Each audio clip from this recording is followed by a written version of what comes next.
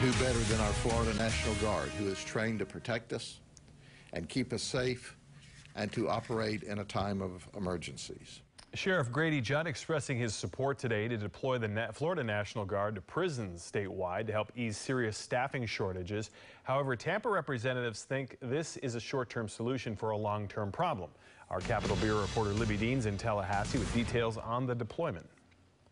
The Joint Legislative Budget Commission approved a proposal today that will send Florida's National Guard into prisons across the state to help with the staffing crisis. Some are saying this is a band-aid solution, while others are saying this is the only option.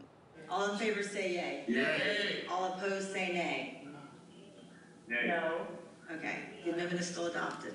After a lengthy debate followed by several public comments, lawmakers approved plans that allow Florida's National Guard to substitute as correctional officers to aid in the ongoing staffing crisis in prisons.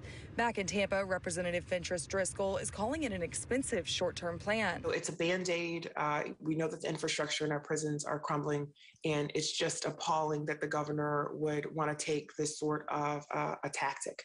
While Polk County Sheriff Grady Judd supports the arrangement. So, unlike Representative Driskell and all that group, I want to encourage you to send your loved ones to apply to work at the Department of Corrections.